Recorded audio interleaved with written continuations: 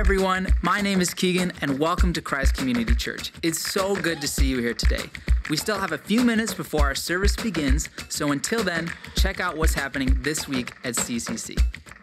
Hey guys, if you're new to CCC, signups for the next Foundations Weekend class are open. At Foundations, you will learn more about who we are, what we believe, and what it means to follow Jesus. Completing Foundations is also a prerequisite for making CCC your official church home by becoming a member. Today is the first day of a special two week series called On Mission. All week long, we're going to be highlighting the amazing ministry work God is doing through CCC to overlooked places in West Africa, and we don't want you to miss any of it. On your way in, you were given an On Mission handout, which has the calendar of events for everything planned this week, so be sure to check that out. Later in our service, you will meet special guest Becky McCabe, the founder of Hands of Honor. Hands of Honor is a ministry that reaches and cares for teenage girls working in large West African cities who are mistreated and sometimes abused. Becky will be sharing some today in service, and then tonight, all women and girls aged 10 and up are invited to come to a free women's event to hear more of Becky's story. Sign up online. Our latest edition of the Hub magazine is now available for you. The Hub contains real stories of life transformation of people in our church. This is also a great resource for you to learn more about where God is leading CCC and what's happening in the next two months. Please pick up your free copy after service today service is about to begin. Be sure to check out cccomaha.info for more information about anything we've mentioned today.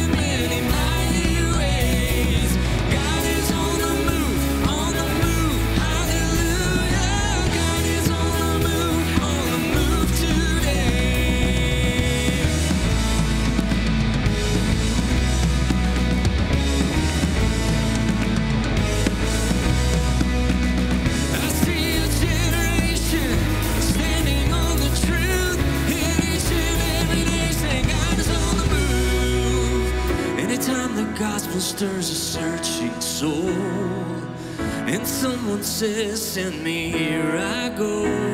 I know.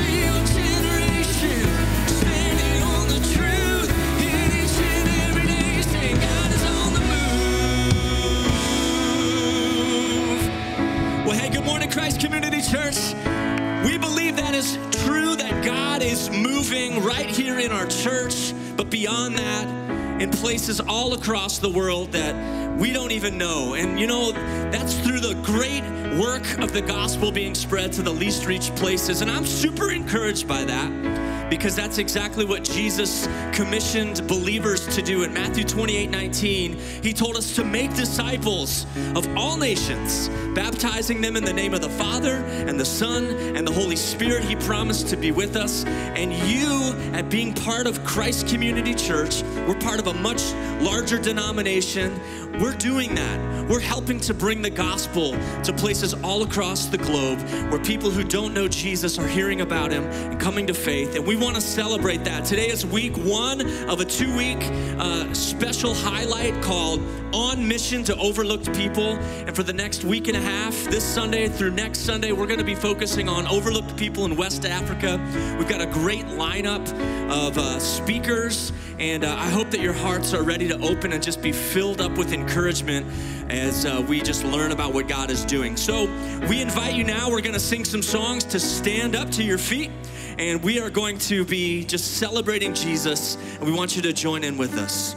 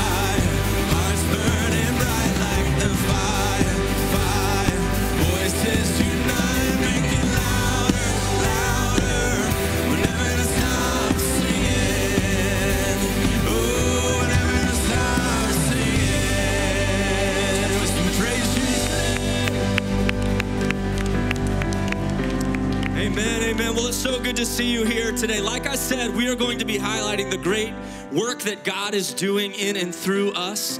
And uh, we're going to start that off here in just a second. But before we do, I know there's some people around you that you haven't met before. So just go ahead right now and introduce yourself to one or two people. Uh, tell them hello. Tell them how glad you are to see them. And uh, we'll continue in just a moment. And then you can be seated.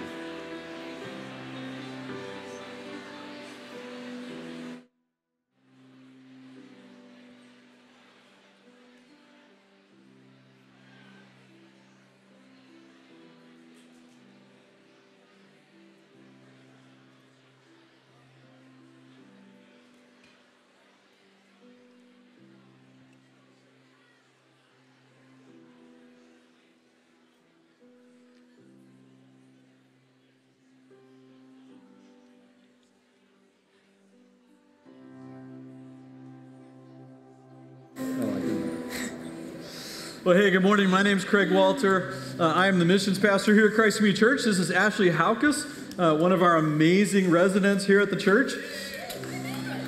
Nice. She gets a little applause. Oh, gee, thanks. well, hey, one of the things I know in my job is I talk to many of you uh, is that I realize that many of us have a very little knowledge or understanding of what our denomination uh, is doing around the world. You see, Christ Community Church, uh, since we launched way back in 1921, has been part of this movement uh, that we call the Christian and Missionary Alliance. So, for the next two weeks, we're actually, as we talk about on mission to overlook people, we are going to be celebrating what the Alliance and what God has been doing through Christ Community Church by taking faith and hope and compassion uh, to least reach peoples around the world. A story actually begins in 1921, uh, or actually, I'm sorry, back in the late 1880s, uh, with a couple by the name of Albert and Maggie Simpson. Albert was this really, really successful pastor uh, in a large church in New York City, and he was making the equivalent of what would be like $110,000 a year today. They had a really nice home, they had prestige, they had this great ministry, but they felt like God was calling them to something else. They felt like God was calling them to leave their church and to start ministering to the poor and overlooked people in their city. Well, to do this, they had to move into a really small, cramped home. They had no income, they had no church. They had no job. And this led Maggie to ask Albert a couple simple questions. She said, Albert, where is this all going to lead? Is this going to be worth it? So, this morning, in the next few minutes, uh, we're going to give you a partial answer to Maggie's question. This is going to be a really, really fast overview of the story that has resulted from their obedience. An overview of this movement that you and I at Christ Community Church get to be part of called the Christian and Missionary Alliance. So let's go together. The Alliance movement in North America started with a single church in New York City called the Gospel Tabernacle, which has grown to a network now in the U.S. of over 2,000 churches worshiping in 35 languages. In the last decade alone, those 2,000 churches baptized more than the entire Nebraska football stadium. In fact, they baptized over 122,000 people in the last decade. By faith, in the late 1890s, Albert and Maggie launched what they called the Missionary Training Institute, which stands today as Nyack College in New York. And they had this dream to send missionaries to the least reached places around the globe. So we'll start our tour in Africa, where the first graduates were sent out as pioneer missionaries to the Congo. 20 year, old, 20 year old John Condit led this small team, but within two weeks of their arrival, he fell victim to malaria and died. Just a few months later, three of his colleagues returned home as well, so only one worker remained. Yet today, the Alliance churches in the Congo minister to more than a million believers. And throughout sub Saharan Africa, there are now more than 2.3 million believers worshiping Jesus in Alliance churches. In the country of Guinea, our workers help curb the spread of Ebola while providing compassionate care to its victims and their families. In the country of Gabon, the Bongolo Hospital presents the gospel to every single patient and every family member.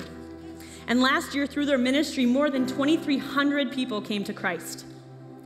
In the country of Senegal, where CCC's newest missionaries, Michael and Amy Gilbert, are headed, people living on the streets because they're suffering from leprosy are getting help from Alliance workers. Some have been miraculously healed, and recently 15 have given their lives to Christ. In Burkina Faso, our alliance workers are drilling wells, giving clean water to thousands while planting 46 new churches in recent years. And finally, in Mali, the country here at CCC that we love so much, in 2016, our hospital for women and children celebrated 10 years of incredible ministry, having treated nearly 100,000 patients, delivering over 2,000 babies, and conducting 8,000 surgeries, with hundreds coming to faith in Christ. So today and next Sunday, you're going to hear a lot more about our work in Mali. Moving to the Asia Pacific region. By faith, a guy by the name of Robert Jaffray, he walked away from his family fortune and he helped open alliance work in nations that we now call China, Vietnam, and Indonesia. In China, during the Boxer Rebellion of the year 1900, 18 alliance missionaries and 13 of their children were martyred. But by 1967, the Alliance was delighted to have 18 congregations meeting through the growing city of Hong Kong. And today in Hong Kong, the Alliance has 116 churches that invest 11% of their annual income into sending out missionaries around the world. In one city in China, just in, in recent uh, months, hundreds of young professionals have been coming to the Lord, being discipled in their faith, and many of them carry the dream of being sent out as missionaries themselves around the world. And I should just pause for a moment and let you guys know that when we're telling you something going on in one of these countries, we're just skimming the surface and telling you just a little bit about what's happening. In the country of Vietnam, during the 1968 Tet Offensive, seven Alliance missionaries were martyred, and all the remaining workers there were forced to evacuate, but still the gospel advanced. Today, the Alliance in Vietnam is more than 1 million believers strong and is actually the largest Christian missionary alliance church in the world. In the In the Philippines, there are half a million Alliance believers in over 3,000 fellowships. In Indonesia, there are over 2,200 Alliance congregations, and right now they have a strategy in the next couple of years to plant 20 new churches among the most overlooked people in Indonesia. In the country of Laos, Ted and Ruth Andrianoff were assigned to what was considered the most isolated missionary post in all of Indochina. Through their work, a local shaman, which is a, a, like a witch doctor, was the first person that they led to Jesus. And within six months, 2,000 people had accepted Christ. And today, the Hmong Church, and among that's called a, that's a people group called the Hmong. The Hmong Church is thriving in both the United States and Asia. In Japan, due to the Depression, the Alliance actually closed that field in the year 1937. But a woman by the name of Mabel Francis, she said, No, I'm not going to leave. And so she respectfully resigned from the Alliance and she stayed. And at the end of World War II, Mabel was there to welcome the Alliance back to her beloved country. And upon her retirement at the age of 83, Mabel received the highest civilian award that can be given by the Japanese government for her love and her commitment to the Japanese people. Yet sadly, today, less than one half of 1% of the Japanese follow Jesus. Moving on to the Middle East. By faith, the Braden family arrived here in 1923, and George Braden often traveled by camel for hundreds of miles through open desert to preach the good news. And today, there are more than 100 Alliance churches there that can trace their lineage back to their work, including in Iraq, where Jesus is the light of the world church shines bright in Baghdad and in Jordan, where an Alliance Church has developed a six story community center that provides schooling for 162 Syrian refugee children. In Latin America, some of our earliest Alliance missionaries actually went to our Spanish and Portuguese speaking countries, uh, such as Peru, where despite a lot of pressure and a lot of danger, by faith they would establish these chains of evangelistic stations along major rivers and you can see from these statistics that today the church in Peru is alive and vibrant. In Cuba, the Canadian and Peruvian Alliance helped launch new churches there in the 1990s. Today, there are now 72 Alliance churches in Cuba, and they have the goal of reaching 120 churches by the year 2020. Christ Community is actually the first church from the U.S. to partner with the Cuban church uh, pictured here is a group of Alliance pastors from America that recently uh, visited churches in Cuba, and they're actually eating dinner on the roof of two new classrooms that are being built by funds that your children have been raising right here at Christ Community Church. And these classrooms are helping them reach children in the community and expand their, their reach into their community. Some people think that the church in Europe is dead, but our Alliance family is actually testifying that a new openness to the gospel is emerging. We're seeing new baptisms in Italy, new Christ followers in Spain as Alliance workers minister to immigrants from Syria and from North Africa. We have five churches in Germany where very few people attend a church of any kind. And there are signs of life being seen in France, such as at the Alliance's beautiful Genesis Center that reaches out to the younger generation. Last year in France, the Alliance had the joy of baptizing more people than in the previous six years combined. One more region, North and Central Asia. In Russia during the 1990s, the Alliance quickly responded after the Iron Curtain fell, and today there are Alliance Christ followers worshiping in more than 50 churches. As conflict has arisen in the eastern Ukraine, a lot of the residents have been fleeing into the city of Kiev, where there happens to be alliance workers there that are providing now groceries and basic necessities for many of these displaced people. Just 20 years ago, there were no Alliance churches in Mongolia, and in fact, that country was completely closed to missionary work. But today, we have teams there, and 30 new churches have been planted. Finally, it's exciting to tell you that we have terms, teams serving in places that we can't even tell you about. In a country with the code name Tea House, recently a second new believer from an unreached people group has come to faith. And in the country codenamed Long Beach, four baptisms were celebrated recently. According to our worker, these young people were running down the beach, giddy with joy at the thing that they had just done. And in another place that we call Green Mountains, three groups meet regularly to study the Bible together. For many of them, this is the first time they've ever read the Word of God on their own. Well, we very quickly have taken you guys all around the world and given you some examples of Alliance work to unreached and overlooked people. But much like the author of Hebrews, we didn't have time to tell you of all of the amazing work in places like Angola and Argentina, Brazil, Cambodia, Chile, Colombia, Costa Rica, Cote d'Ivoire, Dominican Republic, Ecuador, El Salvador, French Guiana, Ghana, Great Britain, and Guadeloupe, and Guatemala, and Haiti, Honduras, India, Israel, Kenya, Kosovo, Lebanon, Martinique, Mexico, Myanmar, Nepal, Niger, Panama, Paraguay, Portugal, South Korea, Taiwan, Thailand, Uruguay, Venezuela. and more than a dozen closed, closed access countries, or Fi- Fiji, Finland, New Zealand, Australia, Canada. All told today, the Alliance Worldwide consists of over 6.3 million believers worshiping in 180 languages in over 22,000 churches. So, how would you answer Maggie's questions when she said, Where will this lead? Has it been worth it? I hope you would say, like me, that it has been well worth it. In Christ Community Church, I want to encourage you to press on because what we're a part of matters. We are part of something that's so much bigger than ourselves that has life changing impact around the world. So, let's do this.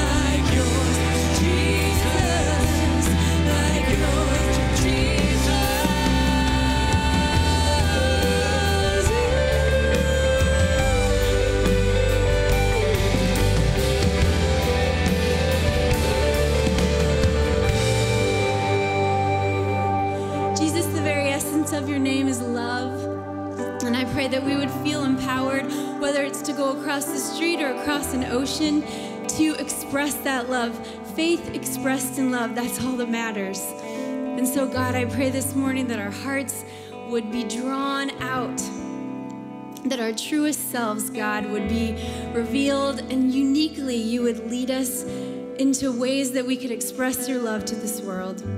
In the name of Jesus, amen.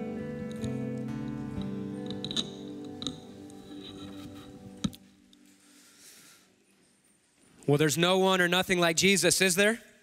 Not even a close second in my life, and I hope that's true for you guys as well. Well, hey, again, it's good to see you. My name is Brad. I get to serve as the high school pastor around here, and uh, as we continue our worship service, I want to invite our ushers to come forward and begin passing the plates as they receive that offering. And whether you uh, give in person weekly or whether you give online, we want to say thank you so much for your sacrificial giving. It makes a huge difference around here and in our city and around the world. And check this out if you're new, we don't want you to feel any pressure to give. You can just pass those plates on by as they go, all right?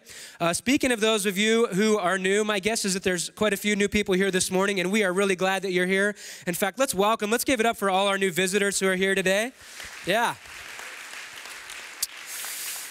And we want to invite you back. And our hope is before you head out the doors this morning that we get a chance to meet you. And so that's why we have this really helpful next steps area. Set up just inside the main doors of our church where you can stop by and meet some new people, learn about our church, even pick up a free gift that we have for you, all right? Hey, this next announcement is for those of you who are kind of new or brand new around here. I want to tell you about our foundations class. If you're interested in learning more about what we believe or who Jesus is, learning about baptism or how to become a member so you can get engaged even more at Christ Community Church, Foundations is for you. And uh, you can sign up for that class at that same Next Steps area uh, just inside the front doors of our church. We'd love to have you be a part of that class, all right? Well, hey, uh, as you've already been hearing throughout this amazing service already, this is on mission week. And uh, we don't just have a bunch of events to fill up your already busy calendar to waste your time, but we have a bunch of events because we want to inspire you to be on mission alongside of God and what He's doing in our city and world. And so I want to encourage you while I'm talking to go ahead and pull out this little thing that was inside that booklet that you were given when you came in. I want to highlight a few of the things that are going on this week that we would love for you to consider being a part of.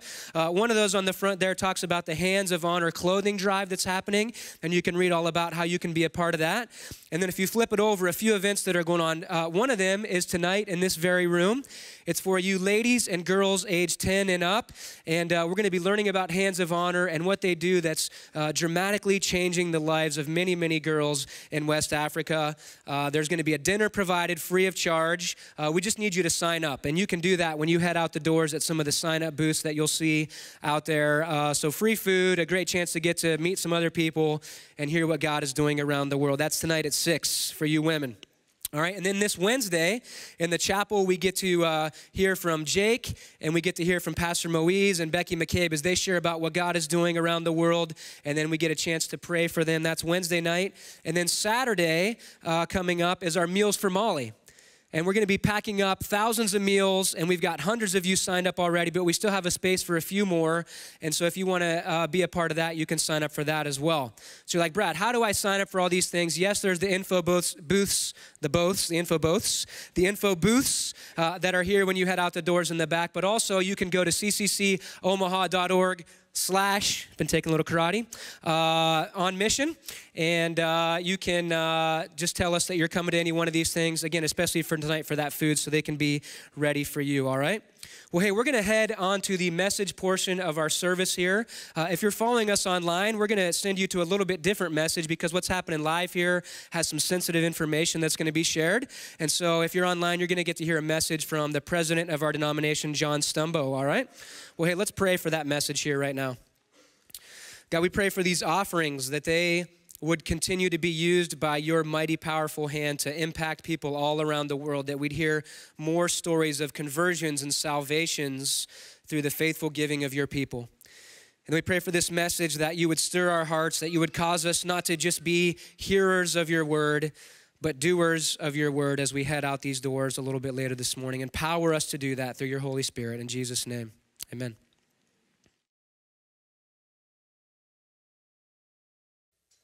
Hey, last time I was with you, I shared a story that I want to lead with today, kind of a link from last time to a launch to today. It's a story of a missionary in Africa who was passing out New Testaments. The Bible had been translated into yet another language, and he wanted to get the word out. And so he was giving away these New Testaments, they came across a rather hardened looking individual who was sitting on the curb of the street smoking cigarettes that he was rolling up himself. And the missionary came by and offered him a Bible, and the man said, Mister, I don't know what book that is that you've got, but if you give me one of those, you need to know I'm just going to tear out the pages and roll them up and use them for my cigarettes. The missionary thought for a minute and said, Well, will you make me a deal? And guy said, What's that? Well, you promised me that you'll read every page before you smoke it. the guy said, Deal. The missionary didn't see that man for 15 years. When he showed up at a church conference, the missionary did, sitting in the back of the conference, and up front, the speaker looked familiar to him. He thought, I think I've seen that guy before. And the speaker started to tell a story. I was sitting on a curb smoking the cigarettes that I was making. This missionary comes by, gives me a Bible, and uh, we make this deal. And so I kept my part of the deal. I smoked Matthew, but I read every page as I did. I smoked Mark. I smoked Luke. Uh, but when I got to John 3:16, something changed. You know what changed, church. For God so loves this world that he gave us his one and only son, that whoever, it doesn't matter who it is, whoever believes in him shall not perish but have everlasting life. And once again, the gospel of Jesus Christ entered into a human soul, and he was changed by that and gave testimony. Friends, I delight in the fact, don't you, that the gospel of Jesus Christ is life changing. I am the recipient of a changed life because of what Jesus did for me. The good news, that's what gospel means, right? Good news. And what news is better than the fact that the God of this universe actually loves the world that he created, even though we've strayed from him, and would show his love to us by bringing such things as forgiveness, grace, mercy, atonement into this world? It's, it's not only only good news, it's the best news, the gospel we have. So I'm a grateful follower of Jesus Christ. And, and today, what I want to do is give us four fuels for the fire of passion that burns in our hearts. Mark has said that we're part of one movement, so one, one family here called the Christian Missionary Alliance. And, and this the theme of this message today, of this whole one power of one series. Today, the power of one movement. Well, this movement that you're part of is fueled by a passion for the gospel. And I want to tell you what some of those fuels are. One of them being the fuel of just the delight in the fact that the gospel changes lives. Uh, have any of you been to a high school or college graduation ceremony in the last 20 years? Oh, yeah. Okay, good. Um, I, I'm, I'm guessing we all heard the same speech. Let me see if you recognize this. I can do it in 20 seconds. Students, you have an unlimited reservoir of human potential to accomplish any dream, to overcome any obstacle. All you must do is believe in yourself, dig deeply within yourself, and you can accomplish anything in this world. Go, students. Have you heard that speech? All right. Well, how's it working for you? that believe in yourself. Maybe, maybe at 18 or sometime in your 20s, you think you have some unlimited reservoir of human potential. but you're going to wake up sometime about in your 30s and you're going to be tired. Mark admitted to that last time. You still admit to it? Okay. And you're going to look in you're going to look in the mirror some morning and you're going to think, "Bummer." If all I have is what I find in here, I'm in trouble. And I want to announce to America yes, officially, you are in trouble. If, if to face any obstacle or to overcome any challenge, all you have is what you find in yourself, you're in trouble not only for this life, but for the life to come. But those of us who are followers of Jesus Christ have a completely different message. On my deathbed, I was so glad that I didn't just have to look deeply within myself and try and find something in that ICU ward. No, no, no, no. I am I'm glad in life and death and everything in between that I have a Savior, I have a King, I have a Lord, I have a Master. I'm not on my own in this world. Isn't it wonderful?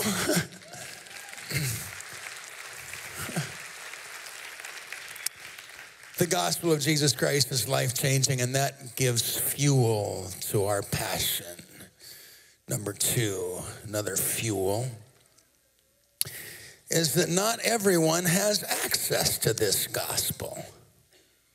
This is something we don't talk about enough in the church of the United States. But what we know about Jesus and what we have available to us through the Bible is not accessible to everyone. You do realize that this book is banned still in many countries in this world, that you're holding something illegal if you have this in some countries still. Not everyone has access to the gospel.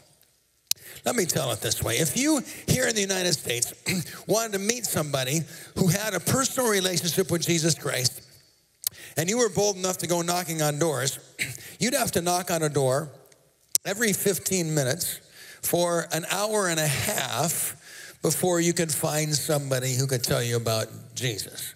Depending on where you live in the country, it might vary a little bit, but basically, a knock on one door every 15 minutes. Within an hour and a half, you could find somebody. In post Christian Europe, where we have some workers that you've sent out to the Great Commission Fund, where there's only 2% evangelical Christian, you'd have to knock on a door every 15 minutes eight hours a day for a day and a half before you could find somebody who could tell you about a personal relationship with Jesus. But in the countries I'm talking about, and, among the people groups that I'm talking about that don't have access to the gospel, you'd statistically have to knock on a door every 15 minutes, eight hours a day, 30 days a month 365 days a year for three years before you could find somebody who has a relationship with Jesus. No church, no Bible, no Christians, no access. Friends, that grieves the family, the movement that you are part of. Our hearts are not content with the fact that you could live on this planet in this day and age and still have no way of knowing who Jesus Christ is and what he came to do. That for us is a fairness, a justice issue. It's not good enough that we know about Christ. We want everyone to be able to know about Christ. It's not fair. It's not right. It's not just that not everyone knows, that not everyone has the opportunity to know. And so that fuels our passion for the gospel, knowing that there's a lot of people who have no way of knowing about the gospel. Recently, uh, in one country that I will not name, some garbed women, because of the religion of their land, came at invitation to one of our international workers' homes and started to have a clandestine Bible study. They would meet secretly, quietly in this home, studying the Bible. And recently, one of the women said to our international worker, I must not have understood your Arabic uh, correctly. You're still learning Arabic, and I, I must not have understood it because what you just said was that I could be forgiven of everything that I've ever done because of Jesus. Certainly, I misunderstood you. Our international worker said, Well, no, that's, that's exactly what I said, and that's exactly what the gospel is. But friends, think about this church. There is somebody, there are some entire peoples, there are some entire nations where the concept of forgiveness is completely foreign, unknown, unrecognizable. Didn't know that that was possible, didn't know that that's available. That's not right.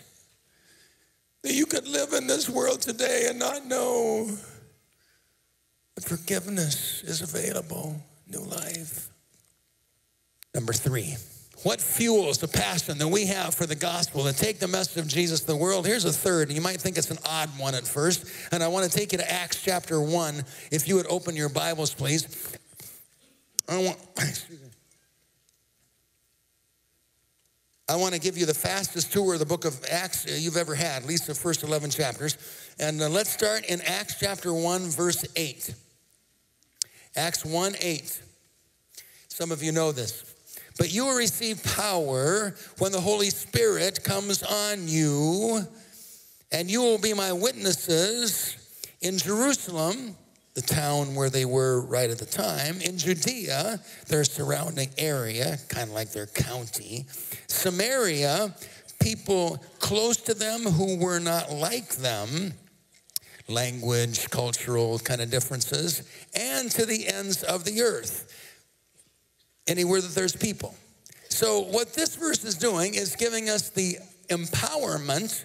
We don't have to create this on our own. No, the Holy Spirit comes to give us the power to do what He wants us to do. And the assignment. I want you to take the gospel to every segment of human society. Start where you are, start in Jerusalem, but don't get stuck there. Well, my question is how did they do? Right here in the book of Acts. Have you ever asked this question? Did they, did they do it? Jesus was really clear. These were his last words to them. This is my assignment to you guys. How'd they do? Well, let's look real quick. Acts chapter 2, we find out that Jesus does his part. You know Acts 2, right? Pentecost, the coming of the Holy Spirit. There's people there. If you look down in verse 9 and 10 and don't recognize those nations, they've come from the entire region Iraq, Iran, Turkey, North Africa. They've come and they hear the gospel of Jesus Christ. And verse 41 of chapter 2 says that 3,000 people come to Christ that day. Fantastic. The Holy Spirit's come, the empowerment part, the assignment, Jerusalem. Wow, great start. 3,000 people already. What happens next? What about Judea, Samaria, uttermost parts of the world? Well, you get to uh, chapter 2, verse 46, and you read this. Every day they continued to meet together in the temple courts. Well, they were doing good stuff, but, but where were the temple courts? Where were they? What's it? Jerusalem. Yes, thank you. All right. So they're still in town. Well, it's just chapter two, so I guess we're all right. Chapter three, all cool stuff starts happening. It's not only Jesus that did miracles, now the disciples are doing miracles, and Peter preaches a fantastic sermon, but it's all right there in Jerusalem. Chapter four, A little bit of trouble starts to come. The uh, local authorities don't like the fact that they killed Jesus, but now the disciples are doing the same work. And so the disciples have a prayer meeting, and that's all good, but it's right there in Jerusalem. Chapter 5. Uh oh, this is not a happy one. Note to self don't lie to a spirit filled apostle like the disciples were, because you're going to have an appointment with God face to face a lot faster than you thought you were going to.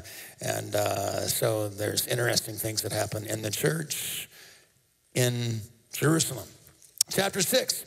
Oh, this is a good chapter because the leaders realize we're doing way too much work. We're overwhelmed. We need to give ourselves the word of God in prayer. And so let's get some help. And so they recruit some help uh, for the church in Jerusalem. Okay, you're getting the point. Great. Thank you for following me. Chapter 7.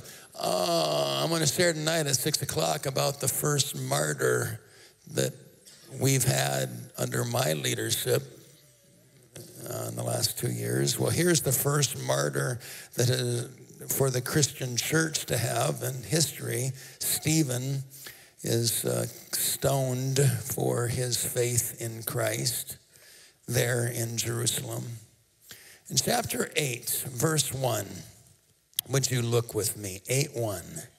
On that day of the persecution of Stephen, a great persecution broke out against the church at Jerusalem, and all except the apostles were scattered throughout Judea and Samaria. For the first time in eight chapters since 1 8, we read in 8 1 those words, Judea and Samaria. They're finally getting out of town. The assignment that was giving to, given to them in 1 8 became the agenda of 8 1. And in verse 4, just so that we're clear, 8 4, those who had been scattered preached the word wherever they went throughout Judea and Samaria. So fantastic. Because this wasn't an either or kind of assignment that Jesus gave them. Either you guys stay here or you go there or you go there. No, no, no, no. This was a both and, and, and assignment. I want you to take my message to every segment of human society. And it take, took them eight chapters just to get out of Jerusalem. And now, how about the ends of the earth? We only got to Judea and Samaria. We got to get all the way to chapter 11. And the author Luke is very careful how he presents this. 11:19, last verse I'll have you look at. 11:19. Those who had been scattered by the persecution in connection with Stephen, that's what we just read, traveled as far as Phoenicia, Cyprus, and Antioch. At first, only telling the message to Jews, but then finally sharing the message with everybody. And it took them 11 chapters, according to some scholars, three years to finally get around to doing what they'd been called to do. What the church was unwilling to do in a time of prosperity, they finally do in a time of persecution. Opposition became an opportunity for the gospel to advance. Friends, I could give you 20 points on this fuel kind of message, what fuels our passion, but I chose this one out of a long list today because you and I watch the same news, right? Does it not get a little depressing these days to watch what's going on in this world? Just think of the last year alone. tensions on the streets of Ferguson, tensions between Russia and the Ukraine, ISIS marching across the Middle East, Ebola marching across Africa.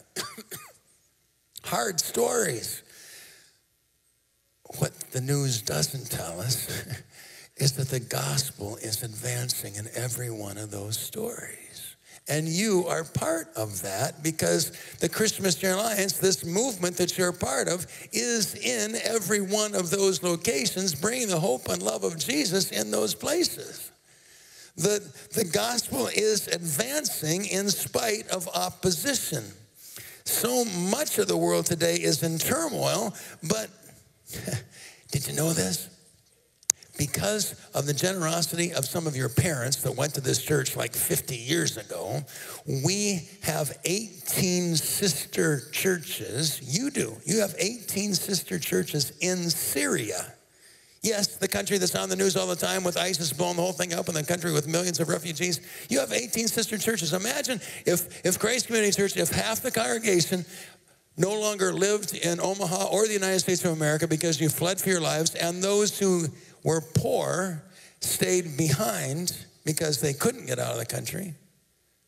But the church just as full today as it was a couple years ago because of all the people coming to find out about Christ. Baptisms are taking place in Syria. Ordination of new church leaders are taking place in Syria. I love that. Just across the border in a country that I won't name, you have a sister church of 85 people a little congregation that's been faithful through the decades, and we're praying, Lord, how do we reach more people for Christ? Just like you guys pray here at Christ Community Church. How do we reach more people?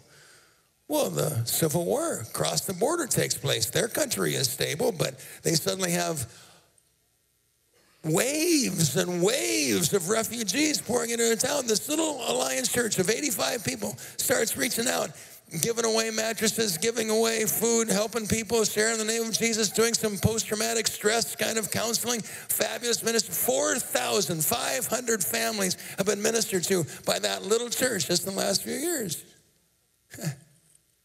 Very quick.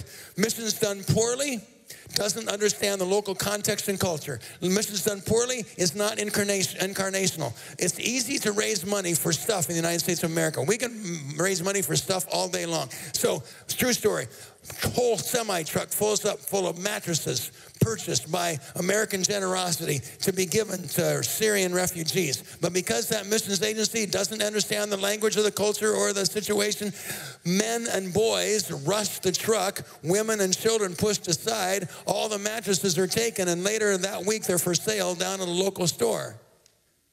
That's missions done poorly. Meanwhile, this little Alliance church of 85 people knows the language, knows the culture, knows the situation, and blesses the people. 4,500 families worth of mattresses distributed one at a time in the name of Jesus. Completely different scenario. All right. I'm talking about the gospel advancing in spite of opposition. You have sister churches throughout these war-torn areas. There are salvations happening in Iraq. There's a million believers that rose out of the ashes of the Vietnam War. A million. and on the list goes one quick personal story. I'll just call the man Wah. Was living in Iraq with his, husband, with his uh, wife and daughter. They were trapped inside their own home because of the violence of the city around them, and they ran out of food. Days went by. They couldn't leave their home, had no access to food. Finally, it seems to quiet down, and so the wife and daughter plead with the husband. We know that you, as a man, can't go in the streets, but maybe we can get away with it and go get some food. He allows them to. No more do they step out of the door when he hears pop, pop, pop, pop and a scream from a neighbor, and he looks outside, and his wife and daughter are laying in their own blood. He rushes out to hold them in their final breaths as he then is bludgeoned with a heavy metal uh, club of some kind. and he wakes up in the morgue with dead bodies all around him. And he says, I'm not dead, I'm not dead. He was released, but he was angry to the core. This man from that Middle Eastern culture was going to get revenge on that group that had killed his wife and daughter. That was his life goal to get revenge. He immigrated to another country where he met one of our alliance teammates who invited him to a Christmas celebration where he found out about Jesus and the real story of Jesus. And just this Easter, Wah was baptized as a follower of Jesus Christ with a very clear testimony that he no longer needed to seek revenge. He was offering forgiveness.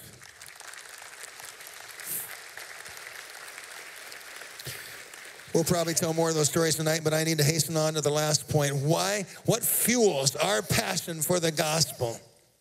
Well, the gospel changes lives. That not everyone has access to the gospel. The gospel is inviting, is, is advancing in spite of opposition. And lastly, what fuels our passion for the gospel is that it advances more powerfully when we work together. I love this. See, if I were to ask Christ Community Church, even though you're a large church, one of the largest of, of our Alliance family, if I were to ask you to do really well at reaching your Jerusalem, Omaha, your surrounding area, your Samaria, and all the way to the ends of the earth, not just one country, but multiple countries with a sound missiological strategy. By that I mean doing missions well rather than missions poorly. If I were to ask you as a single church to have all of those done well consistently through you as a local church, I'd be putting a heavy burden on you and your pastor. Would you want to be that pastor, Mark? and so, but I'm not doing that. And the New Testament isn't doing that. What the New Testament calls us to do is work together. The power of the church of Christ in multiple occasions working together for the greater advancement of the kingdom. We really are better together. So I'm not asking you to do this individually. I'm, I am asking you to join together with 2,000 other churches here in the United States and 20,000 around the world to work together and bring the love and name of Jesus to the least reached places of this world. And together, this is achievable what one thing that fuels our advance, uh, uh, our passion for the gospel is that the gospel is advancing as we work together. And here's where I need to look you in the eye, especially those of you who are faithful to this church and leaders in this church, and say a sincere thank you as the president of the Christian Missionary Alliance not just during my time, but for decades, this church has been a leader of leaders. You have been an example to the examples. You've been a model to the models. I can't overstate the significance of Christ Community Church's impact on this entire planet because of your faithful, steady, generous, wise, strategic, passionate kind of consistent giving and, and sending and praying and gathering and putting together packets of food and on and on and on the list goes. You guys are a leader of the leaders. And I'm curious to see where this is going to continue to go in the life and ministry of this church. Would it be possible that Christ Community Church would be the first church in Alliance history to ever give $2 million a year to the Great Commission Fund? I don't know. I'm just curious. And I know that a fund isn't flashy. I, I get that. But people give to funds all the time. This church is operated by a fund, a general fund. That's what keeps the lights on and the staff paid and, and the ministry is going forward and the outreach of the community. And, and for crying out loud, we're in the shadow of Ameritrade where, where funds are like a really big deal, mutual funds. And if you have been confused about the Great Commission Fund, let me simply say that as a Ameritrade Mutual Fund allows you to simultaneously invest in multiple in multiple stocks or bonds. Even if you only got 100 bucks, you can be invested in multiple stocks and funds. So it is with the Great Commission Fund. In a mutual fund kind of way, we are simultaneously investing in every place that the Alliance team is working. I like that. I don't have to pick and choose. Oh, I sure wish I could give to that, but I don't have enough money to give to that and that and that. Well, with this centralized funding system, you do. We get to give to it all simultaneously. So every story that I've told you today and every story I'm going to tell you tonight, you've been part of if you've contributed uh, to the Great Commission Fund. So it's, it's really fun for me. And it's fun for me to be able to stand here and say to you that you are making a massive contribution for the advancement of the gospel in this world. You really can reach the world from Omaha, Nebraska, and you're proving that week in, week out, church. You know, I said missions done poorly um, doesn't understand local culture and all that kind of thing. One, one more statement missions done poorly creates Western dependence. You know what I mean by that? We create a scenario where people on the receiving side just uh, continue to be on the receiving side and never are able to, to graduate to the place of being able to support their own church and support their own pastor and, and feed themselves and, and lead themselves and educate themselves. we're, we're about ready to bless Carolyn, who spent 40 years training nurses so that they in Africa could be blessing and ministering and nursing the, the locals themselves, rather than a system where we continue to send waves and waves of more nurses. Let's just train the locals that are there. This is what the Alliance has done. So you know that when a church that you've planted in another among another people group you know that church is fully mature when it not only is supporting itself don't need outside funds governing itself don't need outside leadership educating itself have their own colleges and seminary but you know it's fully graduated when they become a mission sending church. Now the place in which to which we originally sent missionaries now are sending their own missionaries you have been part of a family that has multiplied itself 22 times over. That's how many national churches now are mission sending churches in this movement called the Alliance. That's cool. That's fun. Friends, um, I'll, I'll, share more stories and pictures tonight and answer whatever questions you have. But, but for this moment, can I say this?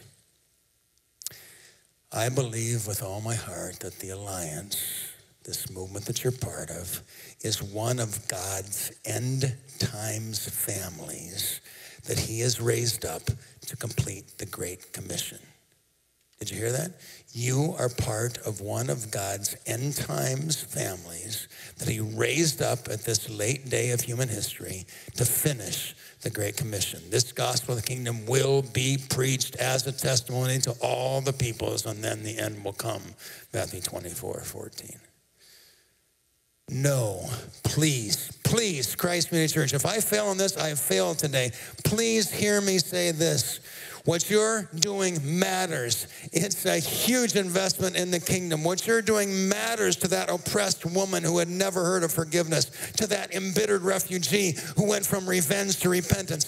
What you're doing matters to the million people that have been baptized into the name of Jesus in just the last five years alone. You heard me right. 1.2 million people that have been baptized in the name of Jesus, not in the name of the Christian Missionary Alliance. We don't do that. No, no. We're baptizing in the name above all all names, the name Jesus, and you've been part of 1.2 million stories just in the last five years.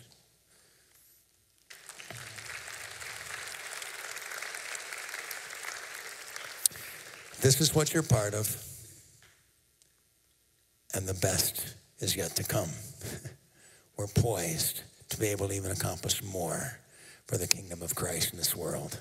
Thank you for letting me speak to you today. Thank you for joining me in this mission that matters. God bless you. Thank you for joining us today online. Hopefully, you have a fuller picture of all that God is doing through CCC and the Christian Missionary Alliance to bring the gospel to the least reached places of the world.